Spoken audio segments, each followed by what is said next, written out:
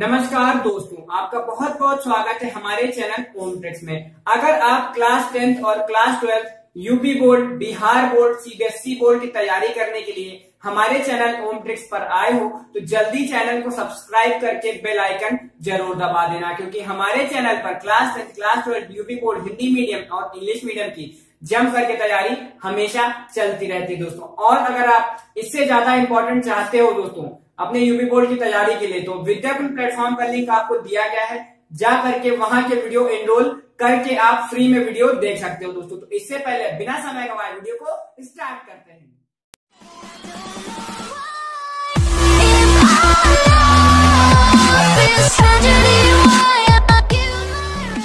नमस्कार दोस्तों, आपका बहुत बहुत स्वागत है हमारे चैनल ओम ट्रिक्स में। दोस्तों, यहाँ पे आप सभी के लिए मैं लेकर के आ गया हूँ क्लास ट्वेल्थ का इकोनॉमिक्स का एक और वीडियो, ठीक है? इकोनॉमिक्स का और वीडियो आप सभी के लिए लेकर के आ गया हूँ। अच्छे से वीडियो पूरा देखते रहेंगे दोस्तों और आपका ये जो सेकेंड चैप्टर है वो इसी वीडियो से स्टार्ट हो रहा है। सेकेंड चैप्टर का नाम है बाज़ार, ठीक है? सेकंड चैप्टर का नाम है बाज़ार। फ़र्स्ट चैप्टर आपका कंप्लीट हो गया है। आप ट्वेल्थ आर्ट साइड की प्लेलिस्ट में जाकर के चैनल की आप वो वाला वीडियो देख सकते हो पीडीएफ डाउनलोड कर सकते हो। इस वाले वीडियो का पीडीएफ भी आपको वीडियो की डिस्क्रिप्शन में दिया गया है, जा करके डाउनलोड कर लगते हो दोस्तों। तो चलते हैं इसके वेरी इंपॉर्टेंट बहुविकल्पी प्रश्न की तरफ़ जानते हैं कौन कौन सा है संभावित प्रश्न दोस्तों। तो सबसे पहला हमारा बहुविकल्पी प्रश्न से स्टार्ट करेंगे जो हमारे आते हैं एक नंबर की परीक्षा में। ठीक है? बहुविकल्पी प्रश्न हमारा सबसे फ़र्स्ट है, बाज़ार की शक्तियों से क्या अभिप्राय है? तो बाज़ार की शक्तियों से अभिप्राय हमारी मांग और पूर्ति है, ठीक है? सीधी सी बात, हमारी बाज़ार की शक्तियों से अभिप्राय मांग और पूर्ति की है, ठीक है? नेक्स्ट प्रश्न की तरफ़ चलते हैं। निम्नलिखित में से किस बाज़ार में औसत आगम एवं सीमांत आगम सदैव बराबर होता है?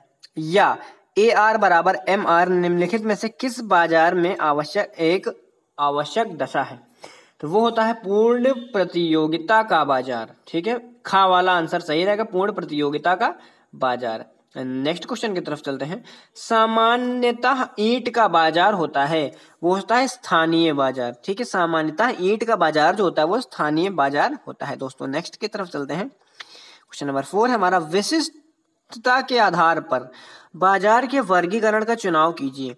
तो विशिष्टता के आधार पर बाज़ार के वर्गीकरण का चुनाव, फुटकर बाज़ार तथा थोक बाज़ार हो जाएगा हमारा। तो किस पे टिक लगाओगे? हम लोग खा वाले पे टिक लगाएँगे, फुटकर बाज़ार तथा थोक बाज़ार। ठीक है? नेक्स्ट क्वेश्चन की तरफ़ चलते हैं। क्वेश्चन नंबर फाइव वस्तु विभेद किस बाज़ार में पाया जाता है? ठीक है, वस्तु विभेद किस बाज़ार में पाया जाता है? या, वस्तु विभेद निम्नलिखित में से किस बाज़ार की आवश्यकता, आवश्यक विशेषता है? तो वो है हमारा अपूर्ण प्रतियोगिता। इस पे नीचे वाले पे टिक लगाएँगे, गा वाले पे अपूर्ण प्रतियोगिता पे हम लोग टिक लगाएँगे दोस्तों। नेक्स्ट क्वेश्चन है हमारा क्वेश्चन नंबर सिक्स निम्नलिखित में से कौन सा सत्य नहीं है? तो कौन सा सत्य नहीं है? बाज़ार कीमत काल्पनिक होती है कल्प अल्पकालीन होती है, नहीं होती है। तो इसमें जो सही वाला है दोस्तों, वो है हमारा घा वाला। बाज़ार कीमत उत्पादन लागत के समान नहीं होती है। लागत के समान कीमत नहीं होती, उसको घटा बढ़ा के दिखाया जाता है दोस्तों। ठीक है? तो नेक्स्ट प्रश्न की तरफ़ चलते हैं। नेक्स्ट है हमारा, परिवहन लागत शून्य होने की मान्यता पाई जाती है। तो वो होता है दोस्तों, इनमें से कोई नहीं होगा, ठीक है? ना अपूर्ण प्रतियोगी बाज़ार में पाई जाती है, न पूर्ण प्रतियोगी बाज़ार में पाई जाती है, न नागरिक बाज़ार में पाई जाती है। तो इसमें से कोई नहीं सही, इसमें हम लिख देंगे, इनमें से कोई नहीं। नेक्स्ट क्वेश्चन की तरफ़ चलते हैं। निम्नलिखित में से असंगत है। असंगत कौन सा है? राष्ट्रीय बाज़ार है असंगत, ठीक है? राष्ट्रीय बाज़ार, घा वाला। टिक लगा देंगे हम, घा वाला। राष्ट्रीय बाज़ार असंगत है, ठीक है? नेक्स्ट क्वेश्चन की तरफ़ चलते हैं। समरूप वस्तुओं की कीमत होती है। समरूप वस्तुओं की कीमत दोस्तों होती है नीची, ठीक है? समरूप वस्तुओं की कीमत नीची होती है। यहाँ पे आपके बहुविकल्पी कंप्लीट हो जाते हैं। अति लघु की बात करते हैं, ठीक है? अति लघु हमारे बात करते हैं हम, ठीक है? अति लघु प्रश्न जो दो नंबर के आते हैं, ठीक है? कितने नंबर के आते हैं? अति लघु प्रश्न हमेशा दो नंबर के आते हैं। तो बात करते हैं कि इसमें ये वाला दो सेकेंड वाला क्वेश्चन इंपॉर्टेंट है, ठीक है? ये देखिए, एकाधिकार बाज़ार का अर्थ लिखिए। एकाधिकार बाज़ार का वर्ग जो अर्थ है वो दोस्तों, जिस बाज़ार में वस्तु का केवल एक उत्पादक या विक्रेता होता है, उसे एकाधिकार बाज़ार कहते हैं दोस्तों। ये इसका सही आंसर है। नेक्स्ट क्वेश्चन की तरफ़ चलते हैं। एकाधिकार के अंतर्गत कितने उत्पादक होते हैं? तो एकाध, एकाधिकार अंतर्गत उत्पादक होते केवल एक होता है। ठीक है? एकाधिकार के अंतर्गत कितने उत्पादक होते हैं तो पूछा केवल केवल एक होता है तो केवल एक हमारा सही उत्तर है दोस्तों। नेक्स्ट क्वेश्चन है हमारा, अंडे का बाज़ार किस प्रकार का बाज़ार है? तो अंडे का बाज़ार दोस्तों अति अल्पकालीन बाज़ार है। अति अल्पकालीन बाज़ार है दोस्तों। ये वाला चैप्टर का जो है, उसमें पूरा बाज़ार के बारे में वर्गीकृत किया गया है। तो इस वीडियो के लिए इतना ही दोस्तों।